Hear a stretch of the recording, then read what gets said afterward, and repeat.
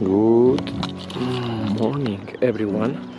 So, uh, in two weeks, we have the Spanish F3A National Championship. It is probably the most important event of F3A in my country because it defines the, the national team that will represent our country in the next European or World Championship. And here we are with my father practicing intensively. Um, we have a beautiful day, it's, it's amazing. The weather is incredible here in Berca. And yeah, this year the National Spanish Championship will be held in Granada. Granada is in the southern Spain. Beautiful city, but during summer it can be really, really hot. In this video, I'm gonna show you how I keep track of the temperatures of my motor in real time.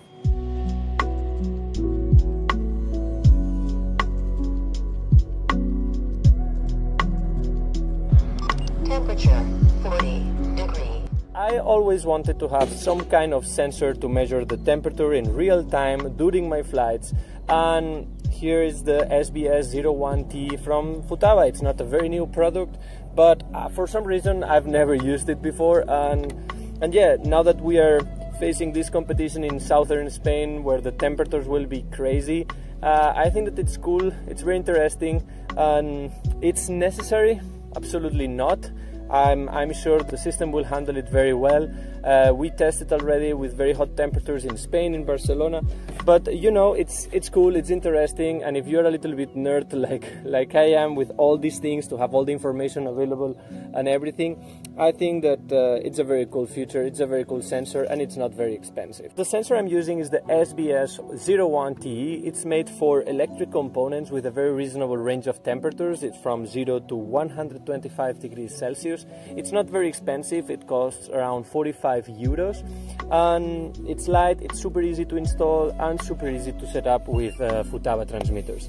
So until now we have used uh, temperature guns to measure all our electric components after the flight. But with this sensor what you can do is have like real-time data information on display or with the with the voice or with the speaker of your transmitter to hear what is the temperature at any time of the flight. And also set some limitations in case you go above or below them so to receive an alert a warning or some kind of vibration on your transmitter to let you know that for some reason your motor it's above or below this limitation so i think that it's a safety feature. It's very nice.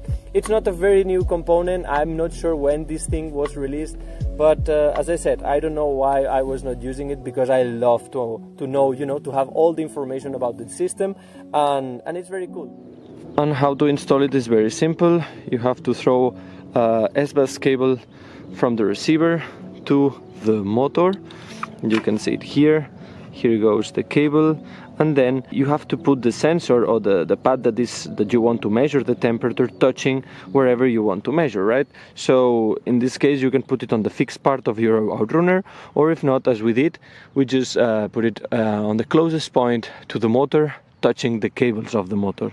There you will have like a quite nice measurement easy super safe because it cannot you know fly away or something and make sure that you don't attach it on the part that is rotating all the time.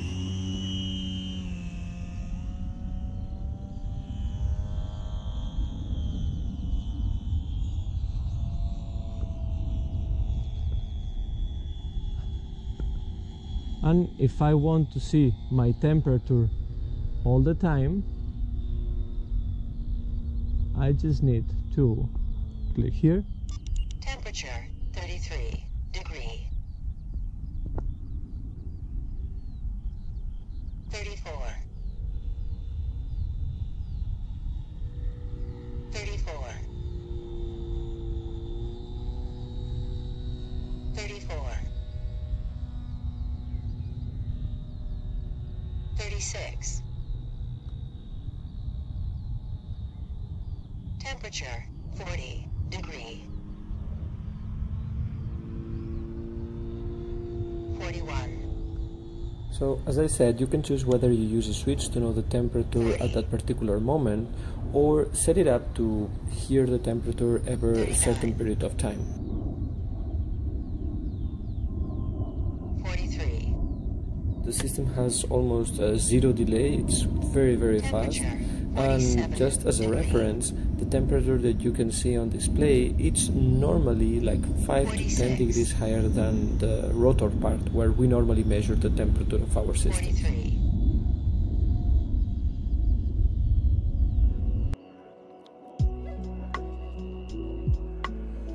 So overall, very nice sensor from Futaba, easy to install, easy to use, it works very well, and and I think that it's it's good for keeping control of the health of your system. So I will continue using it because yeah, I like it.